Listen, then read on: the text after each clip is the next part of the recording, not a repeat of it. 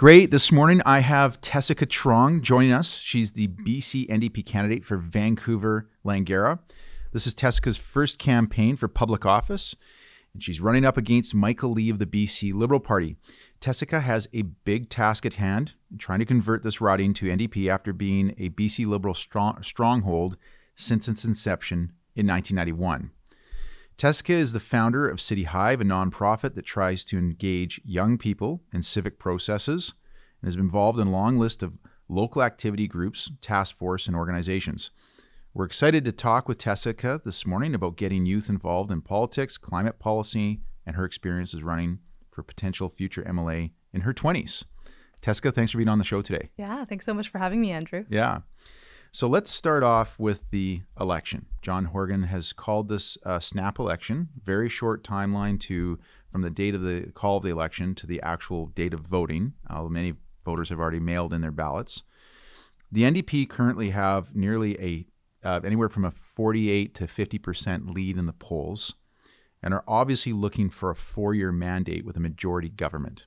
So my first question to you is, what is at stake? And it's a very open-ended question. What's at stake in this election? That's a great question, and I appreciate it because I think for me, as you mentioned, I'm, I'm running in, and I'm in my 20s, right? And uh, I realized I can't wait 10 or 20 or 30 years to run. You know, the climate crisis can't wait. You know, the housing affordab- affordability crisis has already driven so many people I know out of the city or forced people into very difficult, precarious living situations.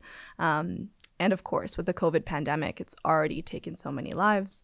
Um, but I think I'm really grateful to be living here in BC, where we've had one of you know the best um, plans, and and we've been able to flatten the curve, largely due to Dr. Bon- Bonnie Henry, um, but also the Minister of Health Adrian Dix, um, and the BC NDP government. So I think those that those confluence of, the, of those multitude multitude of crises really speaks to me to the type of world I want to see um, the type of world that I've already been working to create outside of politics and within, you know, the nonprofit, within the community. Um, but I'm realizing that there are limits to what you can do outside of government, and that's why I'm running to be the MLA in Vancouver Langara. Okay, great.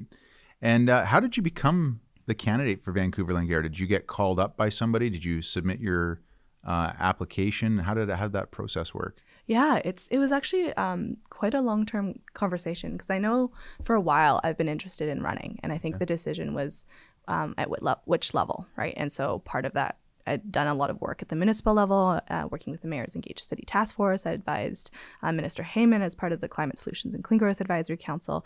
And through CityHive, we've done a lot of work also provincially, municipally, but also federally. And most recently, I worked in, in Ottawa with a also an environmental nonprofit uh, called GreenPAC that really pushes to advance environmental issues, but through the political channels. Um, and so I think at a certain point, I realized all the issues that I really care about, whether that's, you know, public education, whether that's the environment, whether that's healthcare, even cities, right? They're they're provincially they're within the pr- provincial jurisdiction. They're creatures of the province, right? Yeah. And so I realized I decided that's that's really the jurisdiction, the area, the level that I think I could have such a big influence on all the issues that I really care about.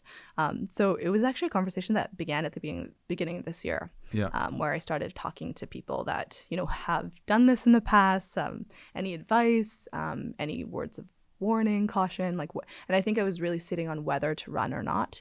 Um, and it wasn't until actually this summer where I made a decision I was like, I'm to do this. I don't know when it's to happen, but I'm to do this. And it was watching um, Alexandra Ocasio Cortez. Uh, who you know I think many many of us who follow politics AOC? know her. AOC exactly and So you were inspired by her. I was really inspired by her and and um, the documentary on Netflix, "Knock Down the House," where she and a whole bunch of other young progressives ran all together. Um, and somewhere in the in the documentary, she says, hundreds of us need to run for one or two of us to get in, right? And all of a sudden, it gave me this fearlessness that it wasn't really about me. You know, of course, it's my name that's on the ballot, but it's really about us as a movement. And um, part of what really excites me about this campaign is I really hope to inspire other folks who, you know, have never seen themselves represented in politics. Um, if I win, I would be the first MLA of Vietnamese descent elected to the legislature in BC. Is that right? Right. Yeah. Yeah. Um, There's never been any, anybody in in BC politics of Vietnamese descent that's been uh, represented as an No. MLA. Not to The Vietnamese knowledge. community is pretty big in BC. It is. It is. Yeah. And it's not just like for myself, but I think for Sure. so many folks who are in a similar position who've never seen them, their background, their, you know, folks their age, Right. from their, you know, gender orientation, their their sexual orientation or gender expression. Um, yeah. I and I think it's so critically important because we need that, whether it's intergenerational leadership, whether that diversity of perspectives, right? Yeah. To really uh, to make sure that the policy decisions that we're making are not unintended, uh, don't have those unintended consequences um, from having missed lived experiences. So if you don't win, Mm-hmm. what would you, what would be, uh, what, how, what would make you feel like you've been successful, Mm. even if you don't win? Yeah, well, I was actually talking to Jasmine earlier about Yeah. this, and um, it's been such an incredible campaign. In in many ways, I feel like it's already been worth it. Like I think because as I made this decision, I know that the outcome of the election is, you know, in many ways beyond my control. We can run the best campaign locally, um, but you know, it's really up to what people are feeling in the day and, and how the Central Party, like how the BC BCNDP are doing, how John Horgan is doing. Um, but I think what has made it worth it for me is is just working with such an incredible team. And I know within my team there are at least half a dozen folks who want to run, right? And so by being able to work on my campaign, they can, you know, really see behind the scenes for themselves what it takes, like what I'm doing, um, and they're contributing towards. So it's it's really our campaign, right? Wow. And so if you know in the next whether it's municipal or federal or provincial elections, I see them running, that would have been the win that I'm looking for as well. Yeah. Okay. Great. Yeah. Well, let's let's jump into some of the topics that we want to discuss during this um, this podcast. Those topics include uh, youth engagement, uh, the climate uh, climate crisis, and and we're going to finish off by going back to Vancouver Langara, which is your riding. Yes. So let's start off with youth engagement. Um, now, it's well known and well documented that generally speaking, young people don't vote. Um, the baby boomers, in my view, and I'm not a baby boomer, by the way, I'm in that middle camp between baby boomers and millennials called the bust generation. We're very small. Oh, I haven't baby, heard the this. Baby bust generation. We're very small. or I think the other, uh, I think it's more like Generation X. I don't know. Maybe you can look it up, Jeff. Do you know Jeff. why it's called the baby bust generation? Well, because we were like the the I think it was because we were like the small group after the boomers. okay. Like there's the boom Right. and then the bust. Like Right, there's okay. you got a big boom that and makes then sense. just like yeah, a little the bit cycles of, of asphalt afterwards, and that's me and my No. cohort. um, so I'm not a boomer, um, but uh, my parent my parents are. Mm-hmm. Um, they're gonna vote. I'm gonna vote. People in my age category in their 40s and 46 are gonna vote. Mm-hmm. You're in the you're in your 20s. yeah. Most 20 year olds don't vote. I got um, uh, Sean ac- across the room. We're making a lot of fun of Sean on these podcasts because he doesn't follow politics at all, and he's the kind of person that should vote. Mm-hmm. So, why is it important for young people to get involved? I- I'd like to challenge that question because I think that young people have been involved, right? Okay. And it, I agree with you, maybe not as much within politics, right? Um, but if you look at and the Samara uh, Institute, they've done really good research on this, where they actually look at the level of volunteer hours, like um, social enterprises or nonprofits that have been started by by young people. Um, and I think it's like we have this innate desire to give back, but it's just that politics hasn't spoken to us. That there haven't been people there that look like us, that represent us, that understand the issues, um, that that really grind our gears and are, and are making life difficult for us right now. And that's part of why I want to run is to Okay. so that people that are our age can see themselves, you know, in elected positions that there there's truly intergenerational leadership, right? Because if we look at how quickly the world is changing, not just because of COVID, but before that, because of the the, the future of work, you know, more and more so, I think, um, you know, going to university and finding a good job and, and working that job for 25 30 years that's no longer the reality not just for young people but folks under 50 in general like um, the the, the amount of time that you spend in a workplace and also the job security you know there's more and more folks that are working contract um, and there's also less protections that are associated with that because for a long time you know it's been the workplace that that has given you those benefits that whether that's healthcare or Sure. dental and all those Yeah. those pieces um, and so it's like I think so many folks in my generation, like we're hustling because like I have so many friends, family members who are our who are working two or three jobs because they can't secure like a uh, maybe can't. And also I think there there's two I think part of it's by challenge and part of it's by choice as well, right? So I think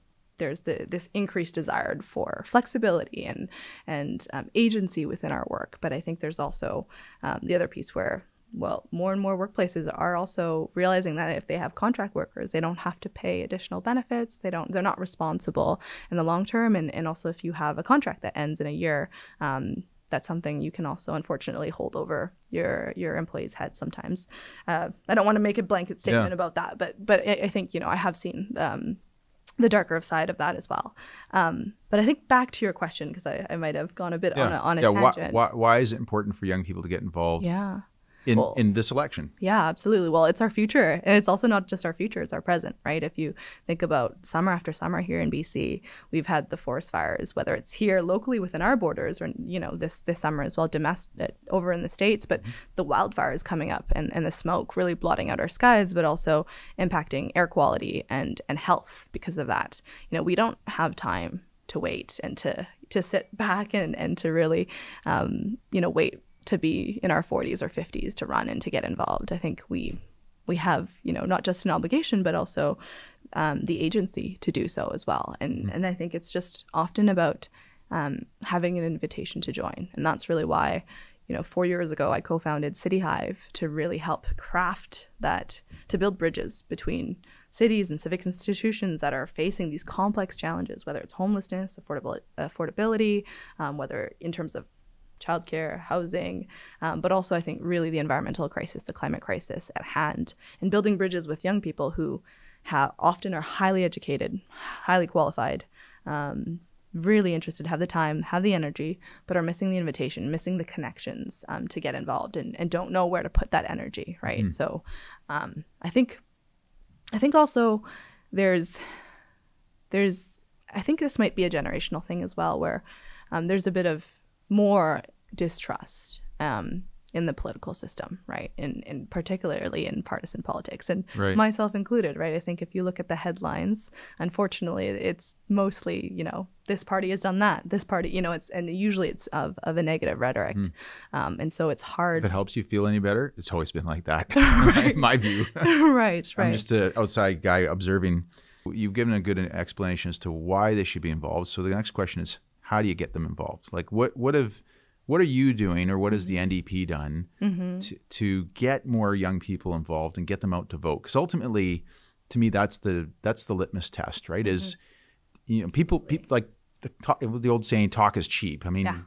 how do you get how are you getting young people to either mail in their ballots Yeah. Or go to a polling station on October 20 is it 24th or 23rd 20, 24th. 20 24th Yes, exactly. don't show up on the 23rd they're not ready for it yet uh, so October 24th Exactly. to vote how are you going to do that The the silver lining of of um, having a, a an election during a time where you have to be socially distant is that we have to innovate on how we're reaching out to people.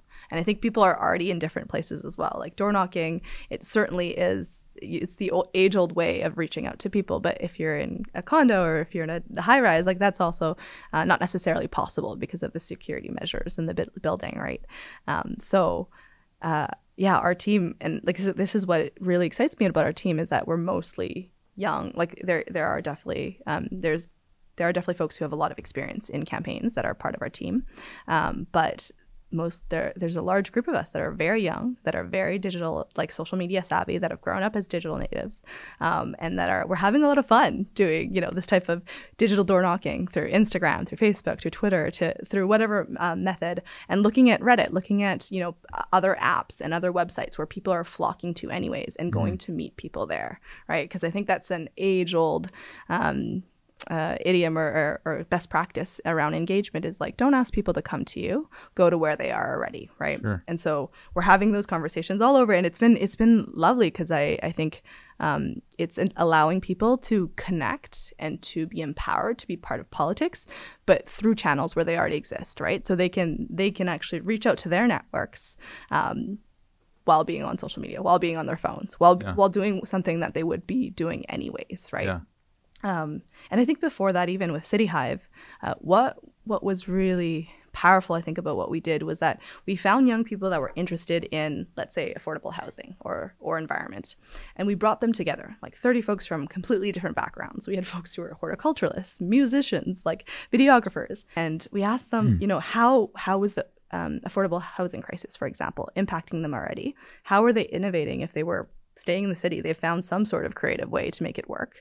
Um, and then we connected them with whether it was housing BC or BC Housing, whether it was the city of Vancouver, um, Vancity, Landlord BC, Real Estate Foundation of BC, like all these unlikely potential allies to talk about what work had already been done to try to address the housing affordability crisis and what more was needed. Where were there still gaps? Where were there opportunities for young people to really innovate and to actually potentially be social entrepreneurs and start a business around this or or to push for advocacy change um, with a voice that I think only uh, that only we could bring in a perspective that only we could bring, right? And and the result of that was that you know there were there were creative solutions that I think you know we've seen in other parts of the world as well. But one of them that I really enjoy talking about is um, it was a project that came out of it called Empty Nesters, where it was about connecting, you know, folks who want to age in place. Their kids have grown up, um, and they might be struggling, needing, you know, care, uh, struggling with social isolation, uh, and connecting that with younger people who need an affordable place to live, first of all, um, but also could support with elder care or seniors care, whether that's going to pick up groceries twice a hmm. week or it's creative. you know, right? And so yeah. it's it's looking at two needs of different communities, right? And that was something that we came up often against um, when I was at CityHive was that we're not just working for young people, we are centering young people to find solutions that work for us. Yeah. But really, what we're trying to build is our intergenerational relationships and partnerships and solutions that can work. Yeah. Well, that's really creative. I like that idea. Yeah. You know, my world has been largely spent around, in, especially in sports and hockey. And you know, mm. a lot of a lot of young fellows that um, succeed in hockey go off to become junior hockey players and they're 15 16 17 and they don't they they move away from home and they get what's called billeted billeted oh. so they actually will live with another family another community so you're you're maybe a stud hockey player in Vancouver but you get picked up for a team in Saskatoon and so a family in Saskatoon will take care of you and you know you also help around the house and that type of thing. Yeah. and i could see what you're saying like you take the like you're you're riding there's mm-hmm. a, there's a lot of empty nesters. There's also probably a lot of university students. Absolutely and so they could kind of coexist absolutely. and they can maybe whether they need the rent or not probably don't even need the rent but they could have a university student there to help them like mow the lawn or pick up yeah. groceries. And then equally that young person would have maybe a cheaper place to live absolutely. save for the future it's creative. Yeah. I like that. Neat. Yeah. The other piece of it that I want to add is yeah. that um, it's really stitching back relationships across generations because mm-hmm. so often in our society we're segregated by age and in spaces where there are you know um, folks that are older and younger there's often a power dynamic right so the older person is the coach or the teacher or the boss or yeah. whatever you name it right the parent yeah. um, and so i think often it doesn't allow for those honest conversations across generations because of those power dynamics right right and and i would hope you know living together or um, having conversations and, and some of the work that we were trying to do with CityHive too was putting people at the same level to say let's just talk as humans about our lived experience. Because I, um, I, there was an article I, I um, or I, I, recently spoke with someone from uh, the Tyee about like I think the rhetoric that young people are not I read the article, enough. by the way. Oh, thank you. Yeah. yeah. They're not saving enough, right? If they just yeah. cut back on coffee as an avocado toast, yeah. we can. Yeah, the they, the, they also will be able to, you know, save up for a home, right? And when you look at the data, that's just simply not true, right? Uh-huh. Um, Generation Squeeze did, um, and Paul Kershaw, who's a, um, a professor at UBC, did did a lot of work on this, researching and you know, back in 1976, it took five years, uh, based on the average income of, of the region, um, to save up for a uh, 20% down payment on a mortgage, right, on a home. Yeah. Uh, and now, 25, it, it actually takes, in Metro Vancouver, it takes 24 years to do that, yeah. right? So uh, I think there's some folks on Twitter that, that, um, did the math on, you know, let's say an av- an average avocado toast costs this much. How many years of life would you like eating avocado toast every single day? would you need to just to just save up on um uh uh, to, how many to years to pay, to, how, how, many, how, many, years was it? It was something ridiculous. Like 200 like, years? Yeah, something ridiculous where it's like your yeah. whole lifetime. And then right. you'll just get the 20% down. So you yeah. can start, you know, once you're, once yeah. I'm in my 80s. But maybe eating avocado toast for 200 years keeps gives you a longer lifespan. No, I don't know. Do you know more about the health I impacts? I, don't, I, don't, eat avocado toast. Uh, That's why you have a home, right? That's right. yeah, exactly. that's a good one. Um, okay, well, that's that's really good. Um, let me let me ask you this before we jump on to the climate issue. Um, Andrew Will, uh, sorry, Andrew Wilkinson, no, Andrew Weaver, Andrew Weaver, former former leader of the BC Green Party, had been advocating for years to lower the voting age to 16. I've seen some crazy references to people suggesting we lower the voting age to age eight, which is my daughter, my oldest daughter's age eight. Do you think she's ready? I don't think she has a clue. okay. we're we're educating. I'm educating her. We're educating right. her.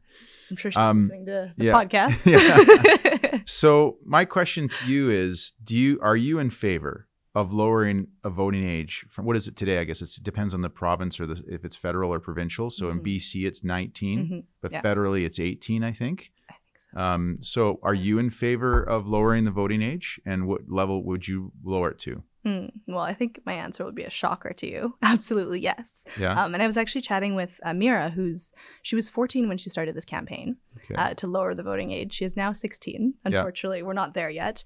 Um, but she's done incredible advocacy work. Um, and uh, it was actually passed at the BC convention unanimously to to lower the voting age. So it's um, it's unfortunate it's not not on the platform this time, so but on. I think there's so the BC So if, if I was wanting to elect uh, the next leader of the BC NDP, and I was like 14 years old, I could vote. If... No, so sorry, sorry, I should clarify. Yeah. Um, so there was a motion that was passed unanimously to lower the voting age to 16. So that's okay. That's that was a motion provincially. Provincially. Um, Has the NDP CNDP lowered the voting age to elect who's the party leader? That's a good question. I'm actually not I would, sure. I would think that, that would be a good precedence, yeah, right? Like, yeah. I mean, you know, kind of like uh, um, you got to kind of drink your own Kool Aid first, totally, right? Yeah. So. Um, good, let me let me actually bring so that here, back. I'm yeah. gonna I'm gonna leave this because you're you're obviously you're passionate about this. Um, I think that the uh, the reason that a lot of um, left leaning socialist progressive um, leaders want to see the voting age lower is because um, people tend to be a lot more um, altruistic about their views of the world and they don't they haven't, they haven't gone through a lot of negative experiences they haven't paid taxes they haven't had to deal with the difficulties of life when they're young mm. and so and i you know so people tend to be more liberal leaning when they're older and be t- become more conservative leaning when they're when sorry when they're younger mm. and conservative leaning when they're older it's just mm. a general trend yeah. um so here's my proposed solution okay because i think it's going to be a tough it's going to be very very difficult to convince enough people to uh, of voting age because it's the voters who are around now that have mm-hmm. to agree to let younger people vote. Mm-hmm. I think what we need, and this goes back to your comment earlier about engagement through social media, Instagram, Reddit. I mean, most boomers probably don't even know what Reddit is. Jasmine's giving me a tutorial on Reddit soon. Um, is is being able to vote through an app mm-hmm. because I think that if if if we could see our our voting system progress from this archaic mail in your vo- voting ballot or go to a polling station mm-hmm. to I mean if I can do like so complicated financial transactions that require a great deal of security through the app on my phone surely I should be able to vote from my phone and I think if you can get if you can convince the government to switch and convince enough people to just be able to allow online voting app based voting that's a big step forward in getting younger people to engage. Because imagine how many, I mean, I don't, do you know what the statistic is on how many people under the age of, say, 25 actually voted a public election? No, but I do know that, that in the last federal election and in 2015 as well, it increased significantly and it contributed, they, they were able to attribute um, the change in government at the federal yeah. level to the part the increase in participation of young people. So okay, interesting. Um, there it's still got to be a very low number, I imagine. I think it is lower than certainly other generations. Yeah. Um, but, so, I, that, anyways, that's yeah. something to take away. Is I think that instead of the, the, the big battle, in my view, would be trying to get the low voting age lowered. That's a really mm-hmm. that's a huge mountain to climb. Mm-hmm. Versus just getting us switched over to a app based voting system. Mm-hmm. I think if we could get there yeah. you'll find people like Sean mm-hmm. who aren't voting today. if he can do it from the comfort of his own home while he's watching a football game, maybe he doesn't vote for the right person because he's not paying attention, but at least he's voting. Mm-hmm. Right, that's the first step. Yeah. Anyways, that's that's my. No, I I really like that idea, and I would say that because of COVID now, you know, um, the, the legislature is voting virtually, right? Like yeah. there, and also um, Parliament is is starting to figure out how to do that as well, right? So I think it, it is pushing um, for that, and I think you're absolutely right. If we can if we are doing complex financial transactions yeah. online, we have systems, we have the technology. We can do it. We can do it. Absolutely. It's, it's just the technology's there. Absolutely. Yeah. Right. Um, and I think I just wanted to add a piece though about lowering the voting age because I think um, certainly that's one argument. Like you know that that younger people are more generally progressive or liberal in their values, but Sure. I think the part of it that's really important to me um, is that that we are starting to build those habits at a young age to participate, to engage in our democracy. Right. And so if young people are starting to vote when they're 16, when you're able to drive, you know, when you're able to like I think I, I think if you're responsible enough to drive, you should be responsible enough to figure out your your opinions on an issue. Um, but there could also be the potential for better education, better curriculum um, in in um, BC schools to actually talk more. Because I, I think I still remember being in, in high school. It wasn't too long ago. Um, and the way that we were taught about our political systems was so boring, was So so, dry. yeah. And I'm a Totally. politico. Like I, Right. I follow this. Yeah. And you were interested in it. I it. was Yeah. interested or tried to be interested in it. And I think I got way more engaged after high school, not through the curriculum, right? Right. And so I was like, if if, you know, when you're still in high school, everybody's doing it. And that's like that's your first interaction, your first engagement with it. It's just the norm, it's just what you do. You don't think about it. Um, then I think that that that would increase civic engagement. That would Yeah. increase democratic participation in so many ways Yeah. um, that I think a lot of us can't even imagine. Yeah, I completely agree.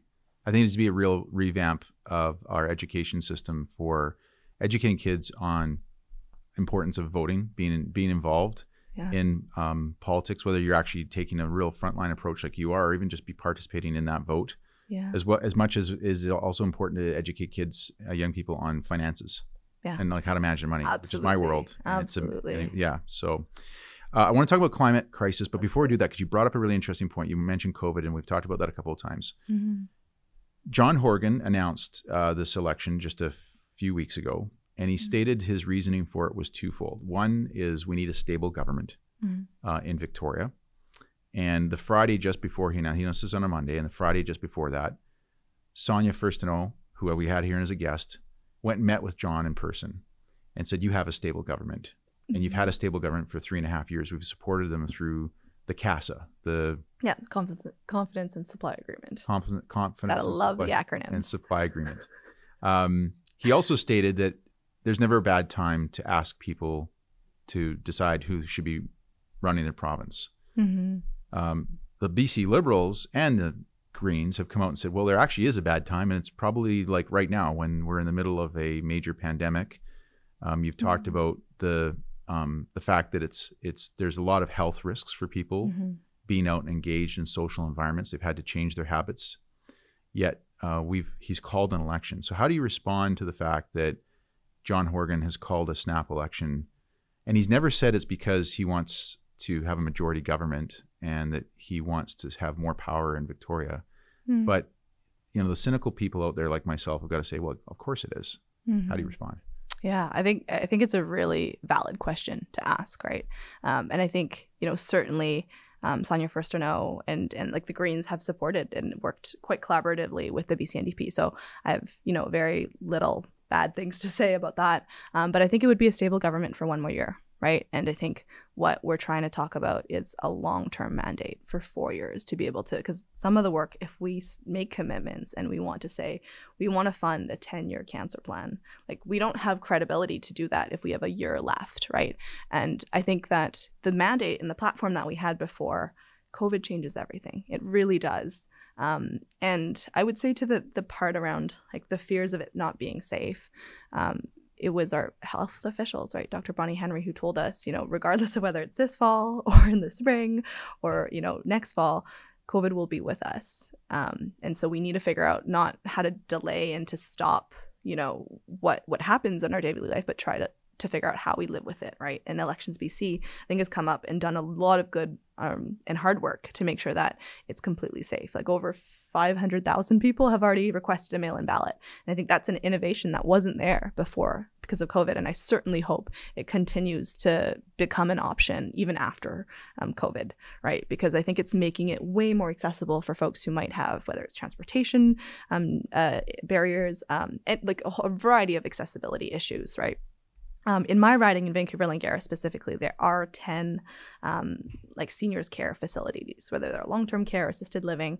Um, and pretty much Elections BC has made a plan for every single one. Five of them have gone through and they're requesting mail in ballots for all of their residents. And the other five, um, there'll actually be two election officials that are sent to each of those um, facilities uh, to help administer this, right? And so it was up to those facilities to decide how they wanted um, to support their residents to engage in, in democratic um, participation. And I think it's so important too.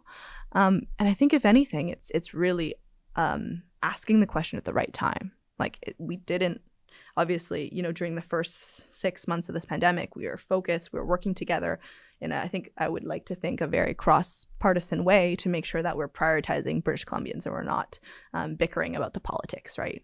Uh, but I think at this moment, at this time, we do need a long term mandate in order to really achieve the level of ambition that we want, whether it be healthcare, whether it be the environment, whether it be supporting seniors and supporting all of us during the COVID pandemic and, and figuring out how to support business as well.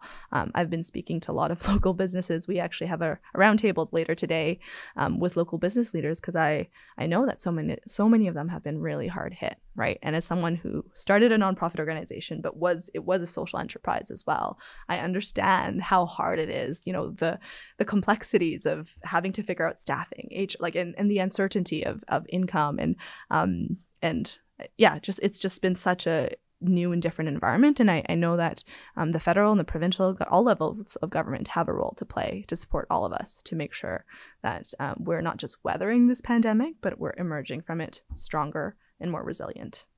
Let's jump on to um, the climate crisis um, or climate change, mm-hmm. whatever you want to call it. I'm sure you would like to call it a climate crisis. Yeah. Um, climate emergency. High emergency. We're going to talk about the weather, the climate, uh, not more more than the weather. So, yeah, this is obviously one of the big, one of the two big topics that you seem to like to want to talk about. It's very important to you. Absolutely. So, I'm going to start off by simply asking, with COVID 19, mm-hmm. uh, climate issues, which is arguably your your signature issue, has lost its spotlight. I mean, if we go back to this time last year, Greta Thun- Thunberg, Thunberg was like this messiah on our planet. That uh, I think she even got um, named the Time Person of the Year. Yeah. Um, basically, she her voice is non-existent these days. No one's really seeming to pay attention, being paying attention to the climate issue. So, how do you address that in this campaign? Mm-hmm. Well, I think the climate crisis, or as some of some folks are calling it now, the climate emergency, um, has been a climate has been a pandemic um, for us long before COVID and will be long after COVID. So I think, regardless of whether the media or regardless of whether I think folks are talking about it, um, it intersects, right? It, it, intersects with what's happening now. And, and I think it has to be a continued priority. And that's part of why I want to run, because I know that I don't have generations, decades to wait to, to really push for bold climate action, right? And I've been doing that since my high school days, um, you know, with um, with a lot of advocacy and, and uh, grassroots organizing. But as I mentioned earlier, there's limits to what we can do outside of government, right? This is this is truly an area where political will and political leadership is needed. Um, and so, yeah, I've been really like for the past two years, I've been um, advising Minister Heyman, who, uh, as part of the Climate Solutions and Clean Growth Advisory Council, lovely acronym, six six letters of BC, so eight. um, but I know that if you look across the country, if you look around the world, I think there are very few governments that actually have climate plans that match the level of urgency that we need to be acting on. Um, and it's been really inspiring for me to see how seriously this government has been taking it. I think it actually dispelled a lot of the distrusts that I had, um, especially George being someone who came from the nonprofit environmental world, who came from Sierra Club of BC, you know, and who understands the issue. Um, and for myself, as I studied environmental science, right, I, I that that is my academic background, and it's also been the work that I've been doing in the community for over a nearly a decade now. Let's say a decade. So, what has the BC NDP done to address uh, the climate issue? Mm-hmm. Well, what I've really appreciated about their approach is that, you know, even in the name, it wasn't just looking at climate separate from the economy. It was looking at how can we see and and make sure that as we're transitioning to a low carbon economy, um, that we're really prioritizing clean jobs. Like we know that people like we need to support people's livelihoods. And i think there's often this argument and in many ways sometimes it is true right? That the good thing to do the right thing to do costs more right? But i think there are also situations there are also solutions like the empty nesters solutions let's say that are win-win-win solutions right? That can be the best thing for the environment that can make life more affordable and can also support jobs right? And we need to obviously look at supporting those first right? So whether it's looking at um, rebates for folks so that they can improve the energy and efficiency in their homes, right? Like hot water boilers. Not a sexy topic, not in miles, but it's it those are it, retro retrofitting, like building step codes, like uh, looking at creating a mandates to support uh, zero emissions vehicles, fuel switching, so that um, the the fuel that you know will still have, um, un- unfortunately, internal combustion engines for quite a while. That that's kind of the system and that's kind of the technology that we have, and it will take some time to transition. So in that transition, how do we ensure that the fuels that we're using are lower, lower, lower carbon, lower emission, more efficient as well, right? So, like whether you look at whether it's active transportation, right? Like that's also an area where there are co-benefits around the health impacts of you know moving biking even public transit you have to walk. There you know you and there's there's health benefits of that right? And we know that those solutions right now are not accessible to all people. And that's that's been really an issue um, with the environmental movement for a long time around um, some solutions for the environment being only accessible to certain class right? Like I can't buy a Tesla. I would love to have a, you know, a great car, but that's not within my price range, right? And so what are the solutions that are available and accessible to a broad range of folks across, you know, the economic spectrum um, to be able to participate and to be able to move towards a low carbon economy, but without penalizing people unfairly because they're poor, like, mm-hmm. or that we're poor, you know, right? right? Um, and and so I think it's this the the Clean BC plan um, not only does it look at bold climate solutions, but it also looks at affordability and it also looks about jo- at jobs. And those are the types of solutions that I know that we have to fight for. They're not going to be all the time the sexiest ones, um, but actually we need to look at the data to see where the most emission reductions um, are possible. But it also looks at the adaptation side. Like I can nerd about this for a long time, but it's looking at what parts of BC are actually most vulnerable to climate risks and what are the likely climate risks that are coming up. Because mm-hmm. it's we know mitigation is certainly one side of it, but there's also the whole adaptation element of it. Climate change is already happening. The impacts are already here. I think we've all seen it during the summer most visibly, um, but also the pine beetle. You know. Um, uh, that impacted uh, the forestry industry in such a deep way yeah. is also linked to to shorter winters as well, right? So um, shorter, warmer qu- winters, yeah, exactly, right. So Tesicca, yeah. let's say you get elected, yeah, you you you unseat Michael Lee, you're now the MLA for Vancouver Langara, mm-hmm. and let's say amazingly George Heyman doesn't get elected, no, and and, and John Horgan goes, well, who's going to be the new minister in charge of uh, the environment and climate action? and everybody points at Tesicca and says, You're in charge now. What are like two or three specific policies or initiatives that you would bring to the table immediately? And I want you to get specific here, like Absolutely. like granular ideas that yeah. people can kind of like wrap their head around. Yeah. As opposed um, to just saying like clean jobs. Totally. That's a thank you for the question. Um, my number one priority would be to support First Nations okay. on reserves who are unfortunately many of them are not connected to the grid. And so they're stuck using diesel really high carbon you know um, energy sources. Um, and it's an equity issue as well. It's a reconciliation issue right? When we look at the disproportionate access to opportunities that comes with you know connectivity in terms of the internet and and I think the pandemic has really shown us that some of us we can we can easily work from home and it's all good. Um, but for some of us um, that's not a solution that works for all of us right? Um, and so it's looking I think interesting. So there's a number of First Nations communities across BC I'm assuming they've got to be more more remote, remote, remote locations. Yes. Yeah. That um, the only access they have to uh, electricity is by way of diesel d- diesel generators. Absolutely, yeah. Wow. I actually um I lived up in Haida Gwaii, okay. and the reason why I went there was because I wanted to learn about co-governance between the Council of Haida Nation um, and the federal government, the provincial government, and how they had been starting to co-manage, um, you know, parks and natural resources, whether it's fisheries, forests, all that. Um, but what I one of the things that I learned from my time there was also how you know, despite how bold they wanted to be in terms of you know their sustainability their climate they were you know one of those communities that um, unfortunately are reliant on a lot of on diesel being shipped in Exactly. by barge or whatever. exactly Wow. especially being an archipelago right Right. and so they had built some of their own amazing solar projects like they've, they've done a lot of this work since i've been there i was there in i think 2016 2015 something Okay. like that so that was five years ago and, and their own communities have done a lot of leadership but um, we need to be funding this right because it also creates local long-term jobs in the community that can't be exported right it also is a reconciliation issue so that we can be supporting indigenous communities in bc who ha- for a long time have not had the funding that they needed to be able to access the same standard of life that you and i have as british columbians in metro vancouver Right. Right. Okay. That's good. Yeah That's a good one. So what else do you have? I like that. That's really neat. Yeah, yeah, and I wouldn't say it's an original idea. Like it Yeah. was actually, you know, the folks up there who who taught me this and who shared that, and and um, yeah, I have a lot of uh, gratitude for uh, um, from the learnings that that I learned during my time up in Haida Gwaii. Um, I think a huge a huge focus um, would be really figuring out how we can support of course enhancing active transportation and public transportation better funding that and i think part of that has already And been What is active transportation? yes Basically, okay. riding a bike.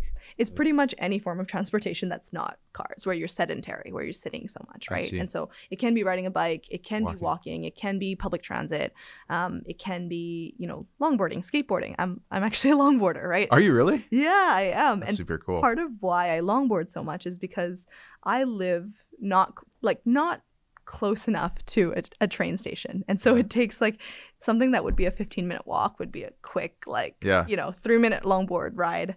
Um, Did you see Jagmeet Singh's longboard TikTok video? did. I, don't know if he was on a longboard or not.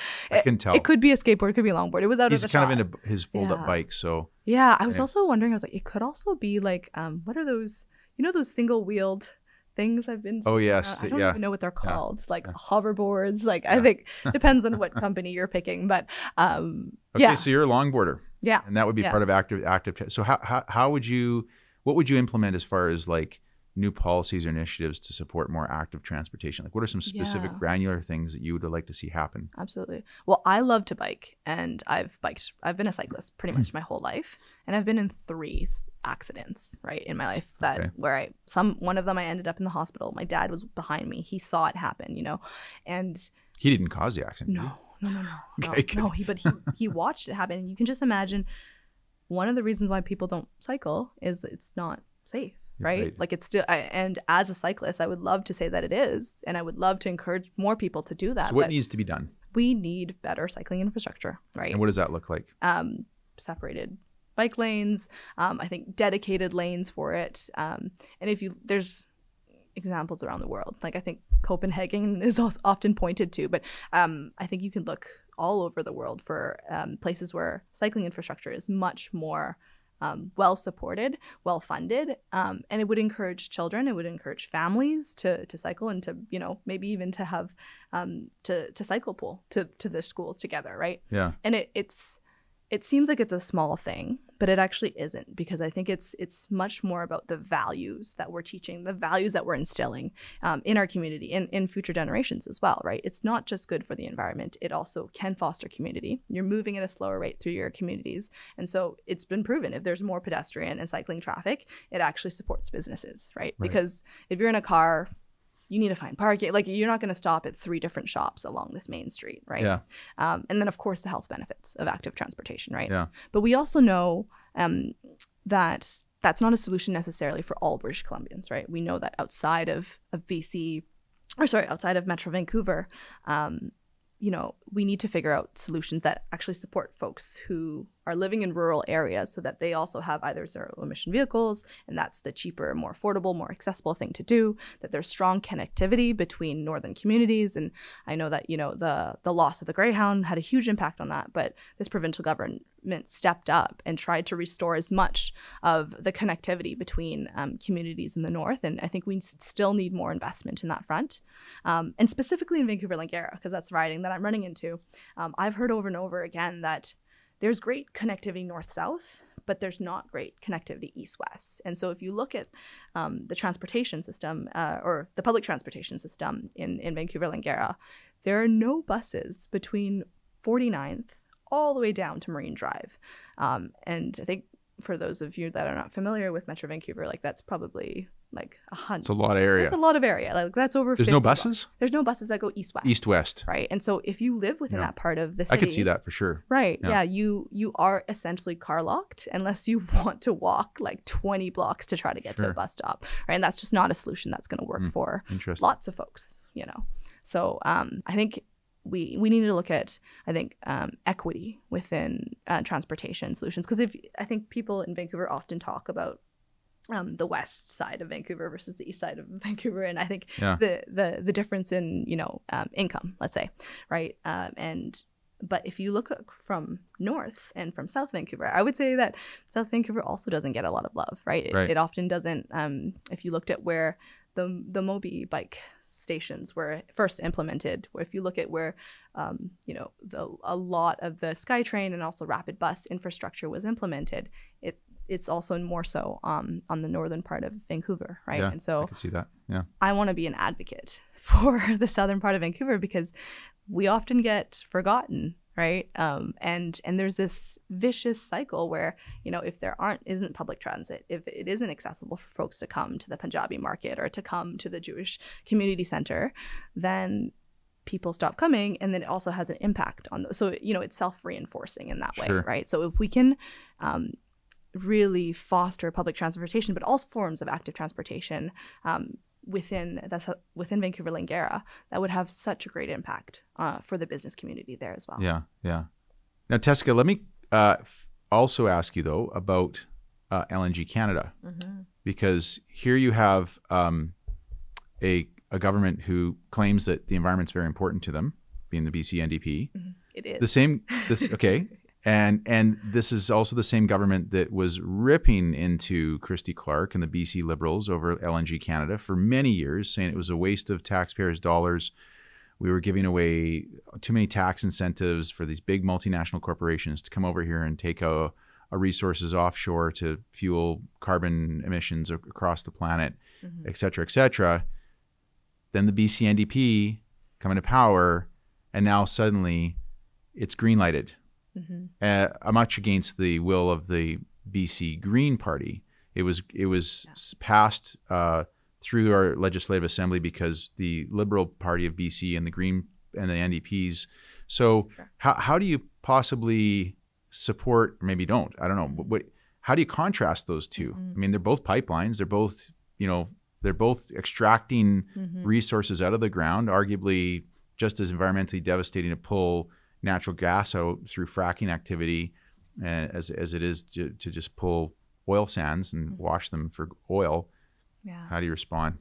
I really appreciate this question because this is exactly why I'm running, right? I think politics is all about the people that show up. Uh-huh. right? And um, I know that in the the case of LNG, it's it's a very complex issue. And let's get into the weeds because I, Sure. can probably tell I like getting into the weeds about it. Um, so I think, especially given my background as an environmentalist. I was very it was very black and white for me when I was younger. I was like, yes, like you know, if it's it if it's infrastructure projects that are um, going to increase our carbon emissions, then like th- that's not the path we need to go on, right? Um, but I think if we, with in the case of LNG, and there are a lot of ifs here for me, right? So, um, uh, I guess the first piece I would say is that um, it, ha- it was framed in the past and it continues to be framed as a transition fuel, right? And if it is actually being used to displace coal use in other parts of the world, right? And and we know like specifically in China, they've been importing a lot of coal from Australia, right? And we know that this LNG is actually the cleanest LNG that we can produce in the world because of the hydropower that we have. Um, then then I think there's credibility to call it a transition fuel.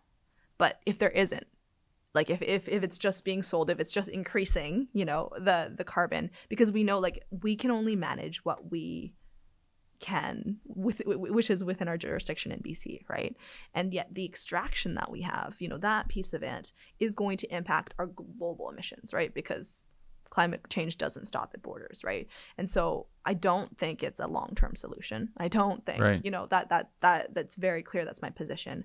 Um, and I think, you know, if we are to support it, we need to look at the ifs, right? We need to look at the nuances of it, right? I think the other piece too is that um, the BCNDP has made it really clear that the you know if LNG projects are to go to go ahead, it has to fit within our carbon budget, right? So it has to. And right now, in the work that we did with the first um, with Clean BC, which is the climate plan um, that I advised Minister Hay- Heyman on for the past two two to three years, um, it it actually the the climate plan that was released brings us 75% to our 2030 goals right? So we still need to in order to if we get a mandate to continue to work on this the next phase of clean bc is to figure out what that remaining 25% is right towards our 2030 goals. But we actually need to continue because that's only our 2030 targets which is 40% reduction right? And our provincial government are and the bcndp have now committed to net zero carbon right? And so I think it's about looking at it holistically, right? Not just with in, in terms of, of, the context of BC, but also in the context of the world, right? And so I don't I don't think it's a long-term solution. I think there's a potential for it to be a bridging feel, a transition feel, if it is used in the right way. Um, and the other piece of it, and I think it connects to like the conversation that I was we were just having about the TMX, is that it's actually a project that has been um, supported by the First Nations Climate Initiatives, which is a consortium of four First Nations um, uh, groups uh, on on the West Coast, where you know where this project is happening, um, and and and and other First Nations groups as well. And so, I, I don't I don't think that I can speak for First Nations. I think there's a diversity of opinions of from First Nations groups and hereditary chiefs, and and also um, uh, band band councils on on the issue. Um, but I think that often we paint um, indigenous communities as just being one-sided or for or against uh, just against um, these projects.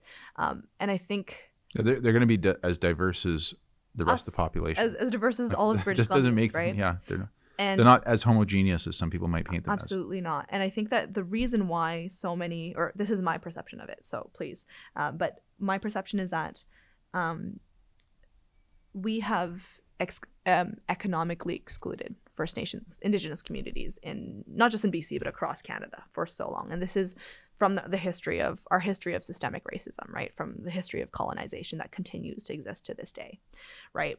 And so, um, you know, when Indigenous communities need economic development opportunities, um, this is one of them. This is not the only, and I think that we should actually be thinking more broadly than LNG projects because I don't think we should be um, asking them to make sacrifices to their environment and their communities and also to our climate collectively as a, as a human and, and as a species on, on this planet. Um, but I think we also need to, to, to look at how are we, you know, if we are going to say no to these types of projects how are we going to support indigenous communities that need this investment that need community economic development and i, I believe truly that there are other ways of doing it so mm-hmm. uh, it's very nuanced it's a very complex which you highlighted earlier yes with uh, yes. you know renewable energy projects in these remote communities and absolutely yeah. and i think there's there are hundreds other like that's just one example of it right but i think right. there are hundreds of other projects and stories and work um, and i don't think that we should be uh, um, you know, um, reducing the the, um, the the number of options. So I feel like it's not a black or white issue. I've given you a lot of gray, but I Yeah. think that's the space that I operate within. Yeah. Right? Is that we need to be having conversations in this gray area so that we can that we're not in our own camps just saying yes or just saying no, but actually talking about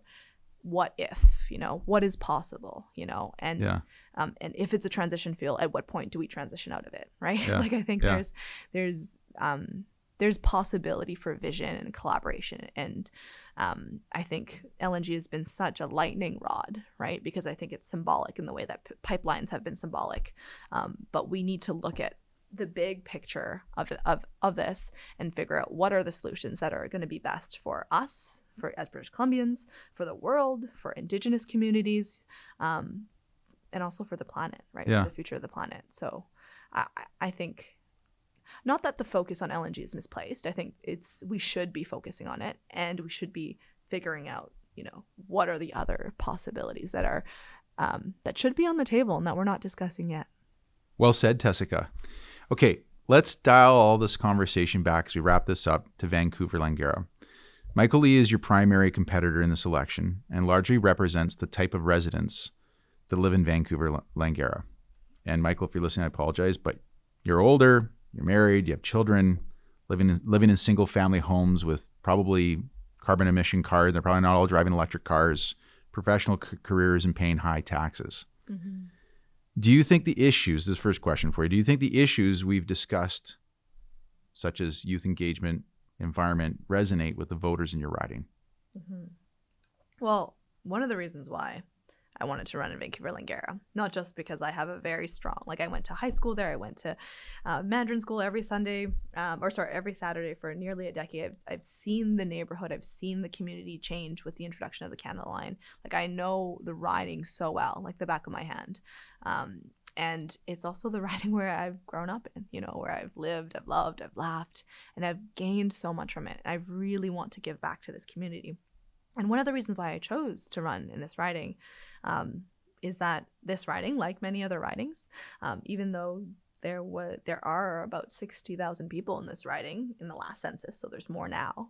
Uh, only about twenty thousand vote, right? And so I think we're not speaking to a huge swath of people that are there. You know, whether they're renters, whether they're students, whether they're you know, seniors whose long-term care and assisted living like have been privatized and there's been cuts to healthcare. Like I think there's so many folks who are either disengaged, disillusioned by politics, have never been engaged, um, or might be new Canadians, might be new citizens, you know, who might be wanting to vote for the first time but don't have the language access, right? And we're, we, we aren't necessarily reaching out to those communities. And so that was one of my biggest priorities when I ran.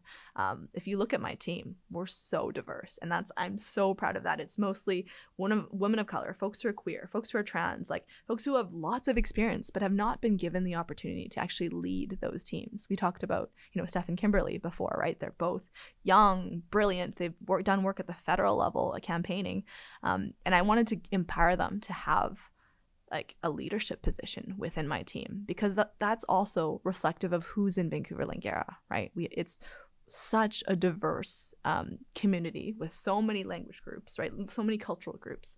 And so the first media interviews and, and work that I did was actually uh, with Connect 91 FM, which is mostly a South Asian radio station or a radio station. Um, then I did a podcast with the Vietnamese Professionals Association of BC, which was translated English and uh, in back and forth from English and, and Vietnamese, so that we could we could reach a whole new population, right? I did an interview uh, with Radio Canada. I speak French fluently, and there's a large French community because that's where l'Alliance Française is based, um, specifically about systemic racism. Um, in and it actually just got published today. Good for Um, and and so like and then I could go on and on, right? Yeah. Like I've been trying to distinctly reach out to communities that are not English speaking because that's a huge part of who's in Vancouver Langara. And of course, I'm doing English media as well. Um, but I think we can set a different bar for how we engage and how we do pol- politics. And we know that not just Vancouver Langara, but BC as a whole is way more diverse than it looks like in, in the legislature right now. Right. And that's why, you know, that's not the only reason why I'm running, but that's yeah. a big piece of why I'm running. Um, and and why I think Vancouver Langara, but also Victoria needs my voice there. A last question, which you've already partially answered, is you got Tesicca mm-hmm. Truong versus Michael Lee what else should voters know about voters in Vancouver Langara as to what's the, the stark difference? Give me one or two examples of the of what you're going to get with Tesicca that you're not going to get with Michael. Yeah, well, I've been in in the riding almost every day this this election, and I just haven't seen Michael. Like uh, he's been, you know, the MLA for the past three years, um, and I have so many friends who live in the riding, and they're like, "Yeah, we heard about him maybe like three, four years ago when he was running." But since then like we haven't heard from him at all. We haven't seen him at our events. We haven't um, we've never gotten something in the mail from him you know? We haven't gotten emails. Like we just don't know what he's up to right? And i'm sure he's busy doing work but for who right? And if you look at his donors and then you look at his actions i think it really speaks to who he advocates for. Um, and i'm someone who's shown up in the community. I started my activism at Churchill Secondary in the riding, where I saw that us as students, we didn't have access to good tap water, right? the water feels, the water fountains didn't work. They were lead in our pipes. You know, of course, it's still under the acceptable level, but is that really the standard that we're shooting for for our students, our future generations? Yeah. Um, but also from like an environmental perspective, right? Like then you're selling bottled water. Then like we go into privatization of water and the social issues that are the social dimension of that, right? And so um, one of the first campaigns that I ran when I was in high school was to try to phase out the sales of bottled water in our school. And we were not only successful in doing that, but we also fundraised and installed four new water refill stations in Churchill. Then I spoke to students across the city and they started their own Churchill or their own Youth for Tap, Byng Youth for Tap, you know, their own clubs and we realized that we were fighting the same battles at our schools. So we banded together, created a coalition, and we worked with the school district um, to install new water refill stations in every single public high school in Vancouver. Wow. That was when I was in high school. So wow. I'm just getting started. Um, and it's not like bottled water is the most sexy issue. I'd say it's like yeah. the least sexy issue. But it was something, a problem that I saw in my community that other students, other teachers, that other administrators also saw as a problem. But we just needed to organize around it. And that's my commitment is that I'm a fighter. I'm an advocate. I'm someone who cares. I'm someone who listens. I've been appointed as a dialogue associate at SFU, the Center for Dialogue. It's a global center for really, you know, moving away from this divisive, polarizing conversation to really talking about dialogic, collaborative solutions. Um, one of the youngest di- dialogue associates, and it's been my work to bring people together from diverse perspectives, diverse communities, to see that we have more in common than what sets us apart. And that's the vision that I have for not just Vancouver Langara. Of course, that's the place that I, I want to be listening and doing most of my work, but I think the work that happens in Vancouver Langara is connected to the entire province. And that is the work that I want to do for BC, wow. for the world. Well said, Tesicca. It's inspiring. Um, people want to get involved. They want to get involved, help you out. Yeah. Uh, how do they con- connect with you? What can where, where can you get it? Where, where, could you use some help? Absolutely. Well, um, um, my website is www.tesiccatruong, and it's a spelling that's a bit different because my mom was quite creative. So I'll spell it out. It's T E S I C C A T R U O N G uh, dot C A. Um, and they can volunteer there, they can donate. Of course, as you can imagine, the folks that are in my community are not the most affluent. So i think that's that we definitely like whether you can donate your time whether you can donate your energy or your connections your your your social networks amplifying our message making sure that especially in an election that as you as you said is is quite short um, that people are know that there's an election that they know who their candidates are they know their options and they know that Tesicca Truong is going to fight for them. Wow. Good message. Well I wish you the best of luck, Tesicca. Uh, you are the uh, BC NDP candidate for Vancouver Langara. You're well spoken, very energized, and uh, I'm sure you're going to do quite well if it's not in this election, some point in your future, uh, in your future elections, because it doesn't. I, I, don't think this will be the last time you run for office, whether you win or don't. So, uh, best of luck to you. Thanks for coming on the show. Really appreciate having you here today. Thank you, Andrew. I really enjoyed our conversation. I wish we had more time. Yeah, good stuff. Tesicca Truong, BC NDP candidate for Vancouver Langara.